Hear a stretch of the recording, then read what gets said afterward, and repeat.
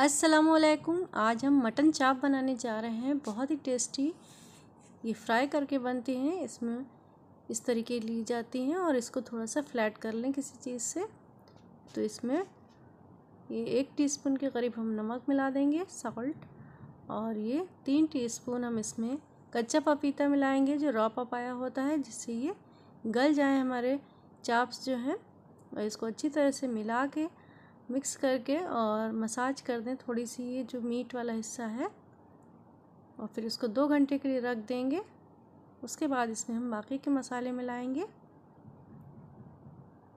तो इस तरीके से अच्छे से मिला के दो घंटे के बाद इस तरह की हो जाएँगी ये। देखिए, सॉफ्ट हो गई हैं। तो इसमें हम एक टीस्पून जिंजर गार्लिक पेस्ट मिला देंगे। और ये गरम मसाला पाउडर है, एक टीस्पून ये भी मिला देंगे और जावित्री इलायची का पाउडर एक टीस्पून।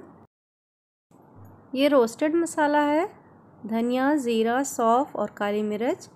इसको रोस्ट करके बनाया जाता है, एक टीस्पून ये भी डाल दिया हमने इसमें। ये लाल मिर्च का पाउडर एक टीस्पून या आप अपने टेस्ट का से ज़्यादा भी डाल सकते हैं।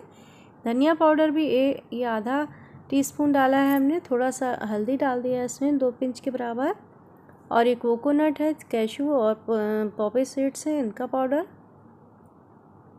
और ये चार टेबल टी स्पून हमने इसमें बना बेसन डाल दिया है। और ये तली हुई प्याज का पेस्ट है। ये रोज़ वाटर है, थोड़ा सा डालेंगे और केवड़ा वाटर भी इसमें डालेंगे हम एक टीस्पून के करीब। और अच्छे से मिक्स कर देंगे सारी चीज़ों को। और ये दही, दो चम्मच दही इसमें डाल देंगे हम। और ये जो बचा हुआ बेसन है, ये भी डाल देंगे तो चार टीस्पून इसमें पड़ जाएगा। और मिक्स करने के बाद थोड़ा सा इसमें घी डालेंगे हम, टू टीस्पून।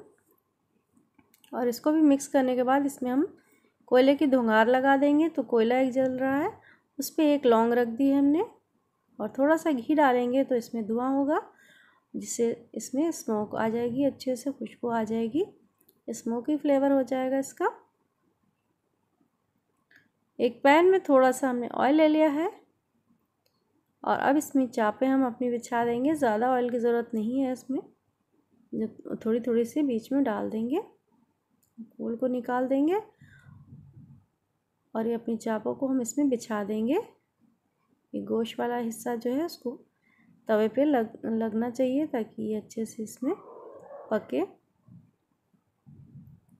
और इसको एक साइड से जब गोल्डन कलर हो जाएगा, तब हम इसको पलट देंगे। और अगर आप चाहें तो इसको थोड़ी देर के लिए ढक भी सकते हैं, ताकि ये अच्छे से गल जाए। ये देखिए, एक तरफ़ से बिल्कुल अच्छा सा कलर आ गया है इसमें। तो ये पलट देंगे हम।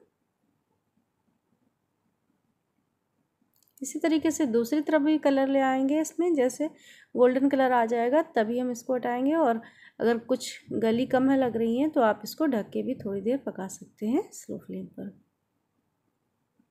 तो अच्छे से बिल्कुल हमारी गल गई हैं तो इसमें ज़्यादा ढकने की ज़रूरत नहीं पड़ रही है। बाई चांस अगर कम गली हैं तो आप ढक के भी गला सकते हैं। तो थोड़ा सा एक बार स्मोक और दे देते हैं इसमें, ताकि बिल्कुल बारबेक्यू वाला फ्लेवर आ जाए इसमें। और अगर आपके पास बारबेक्यू है, कोल वाला तो आप उसमें भी कर सकते हैं। तो ये हमारी चापें बन के तैयार हो गई हैं।